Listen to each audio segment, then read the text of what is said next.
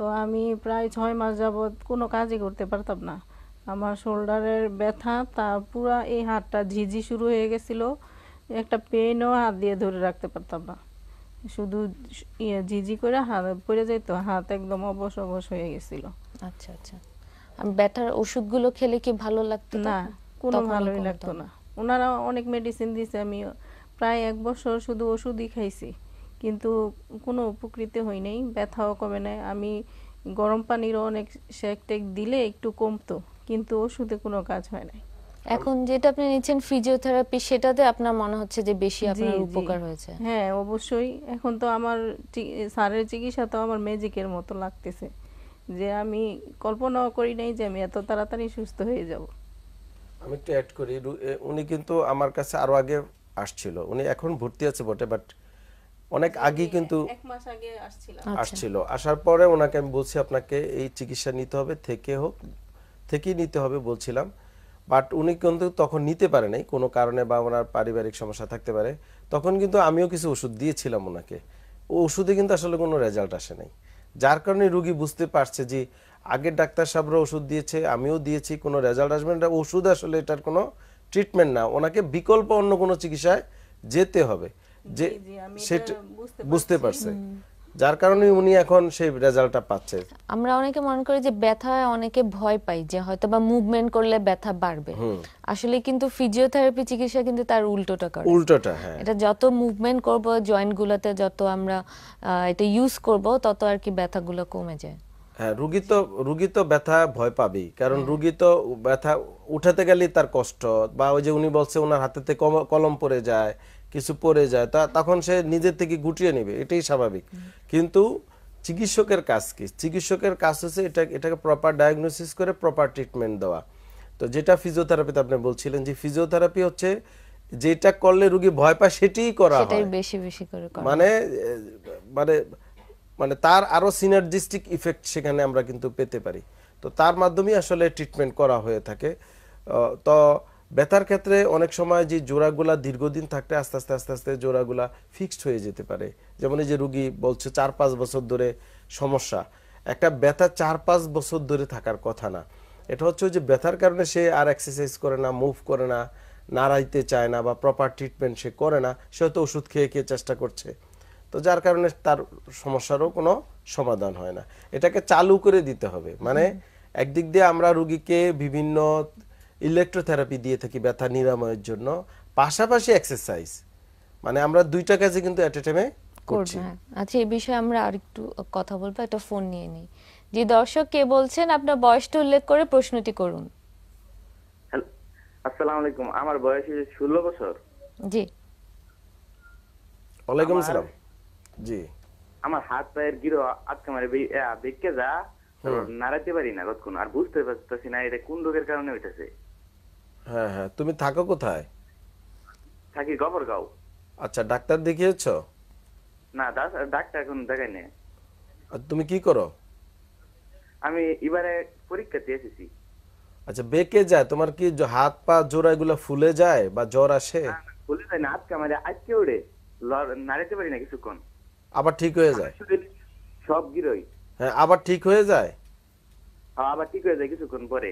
আচ্ছা তুমি আপনার খেলাধুলা করতে পারো হাঁটা চলাফেরা দৌড়াদৌড়ি সব করতে পারো? হ্যাঁ হ্যাঁ সবকিছু করতে পারি। আচ্ছা উঠতে বা অন্য কোনো কাজ করতে গেলে আটকে মারে আটকে ওড়ে আর নাড়াতে পারি না। আচ্ছা বুঝছি ধন্যবাদ। ধন্যবাদ তোমাকে। ওর যে সমস্যা হতে পারে আসলে ক্লিনিক্যালি কোনো আর্থ্রাইটিস জনিত সমস্যা মনে হচ্ছে না। হয়তো উঠতি বয়সী ছেলে মেয়েদের অনেক কিছু সাপ্লিমেন্টের ঘাটতি থাকে আমাদের খাবারের ঘাটতি থাকতে পারে বা যে খাবারটা খাচ্ছে সেটা প্রপার তার জন্য হয়তো কোনো কাজে আসছে না। তার হয়তো ভালো ভিটামিন ডি এগুলো হ্যাঁ এগুলো একটু নিউট্রিশনাল ডায়েট ওর দরকার। আমার মনে হয় তোমার যারা গার্জিয়ান আছে তাদেরকে বলো আর অনেক সময় গার্জিয়ান চাইলেও বাচ্চারা খেতে চায় না ঠিক না? বাচ্চারা খেতে চায় বাইরে চিপস বিভিন্ন ভাজা পোড়া বাইরের খাবার এসব বাজে খাবার খেতে চায় এটি স্বাভাবিক। আমরাও ছোটকালে হয়তো এরকমই ছিলাম। তো আমরা গার্জিয়ানরা চায় ভালো খাবার দিতে। তো আমার মনে হয় তুমি নিয়মিত অন্তত একটা ডিম খেতে হবে তোমাকে। এটা কিন্তু তোমার এখন থেকে রুটিন থাকবে। নিয়মিত একটা ডিম খেতে হবে এবং এক গ্লাস দুধ খেতে হবে এবং পাশাপাশি দেশি মাছ, মুরগি, এই জাতীয় মাংস খেতে হবে, ফল খেতে হবে, এগুলা নিয়মিত তুমি খাবারের মধ্যে তোমাকে খেতে হবে। এবং পাশাপাশি নিয়মিত হাঁটা চলাফেরা, খেলাধুলা করতে হবে। এগুলা করলেই সমস্যাগুলো থাকবে না আস্তে আস্তে, আমার মনে হয়। এবং যেহেতু তুমি গ্রামে আছো বা যেখানে ঢাকার বাহিরে, যদি সম্ভব হয় সাঁতার কাটতে হবে পুকুরে প্রতিদিন। এটা কিন্তু একটা উঠতি বয়সী বাচ্চাদের জন্য খুবই ইম্পর্টেন্ট খেলাধুলা, সাঁতার কাটা সাইক্লিং এগুলা কিন্তু আমরা এখন অনেক, অনেকেই ভুলে গিয়েছি বা করা হয় না বা বাচ্চারাও করে না, আমরাও করতে দিই না। যে বিভিন্ন কারণে। তা আমরা মনে হয় এই সংস্কৃতি থেকে বেরোয় এসে আমাদের বাচ্চাদেরকে এই সকল অ্যাক্টিভিটিস বিকালে আগে আমরা সবাই আমরা কিন্তু বিকাল হলে খেলাধুলা করতাম। স্কুল কলেজ থেকে এসে মাঠে চলে যেতাম কিন্তু এখন সেটার প্র্যাকটিসটা নাই। আবার আমরা প্রচুর পুকুরে কিন্তু সাঁতার কাটতাম গ্রামে। এখন হয়তো শহরে পুকুর নাই বা ওইভাবে অ্যাভেলেবিলিটি নাই। গ্রামে গ্রামে এখনও কমে গিয়েছে বাট আছে এখনও। বাট আমরা যদি সেই দিকে সচেতন হই এখন এখন থেকে বা আমাদের যার যতটুকু আছে স্পেস তা নিয়ে আমরা কাজ করতে পারি। তো এটা কিন্তু এখন খুবই ইম্পর্টেন্ট এই দেখেন যে একটা ষোলো বছর বয়স, তার এখন এই সমস্যা হবে কেন? তো আমার মনে হয় এই খাবার মুভমেন্ট এক্সারসাইজ বাচ্চাদেরকে অন্তত, বাচ্চাদের বড় হওয়ার জন্য যা যা করা দরকার, তা কিন্তু বাধা দেওয়া উচিত না। মানে খারাপ কিছু করাতে অবশ্যই আমরা বাধা দিব, কিন্তু অনেক সময় আমরা খেলাধুলো বাধা দিই, অনেক সময় তাদের সাঁতার কাটতে বাধা দিই, বা তাদের বিভিন্ন মুভমেন্টে বা তাদের বন্ধুদের সাথে বিভিন্ন তারা খেলাধুলা করে থাকে এগুলোতে আমরা অনেক ক্ষেত্রেই বাধা দিই। বিভিন্ন কারণে হয়তো সোশিও সামাজিক বা পারিবারিক বিভিন্ন ইস্যুর কারণে।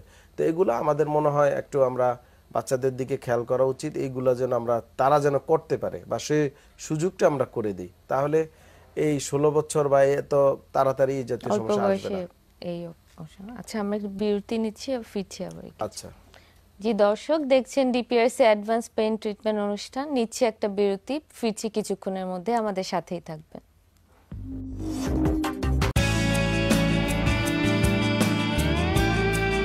আমরা জানি আপনার প্রিয়জন আপনার জন্য কতটা গুরুত্ব বহন করে, আর তাই সঠিক ডায়াগনস্টিক রিপোর্টের জন্য আপনারা আমাদের কাছেই আসে। আমরা বিশ্বাস করি প্রপার ডায়াগনোসিস কনসালটেশন পেইন ও প্যারালাইসিস চিকিৎসা, পুনর্বাসন আমাদের সব আয়োজনই সব সময় আপনাদের জন্য চব্বিশ ঘণ্টা খোলা।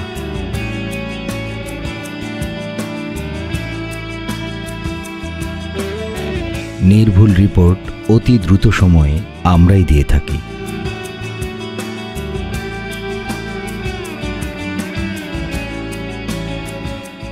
আমরা চাই না আপনারা বারবার আমাদের কাছে ফিরে আসুন, তবুও আমরা আছি সব সময় সর্বদা আপনাদের পাশেই। DPRC hospital and diagnostic lab, আস্থা, বিশ্বাস ও নির্ভরতায় অবিচল।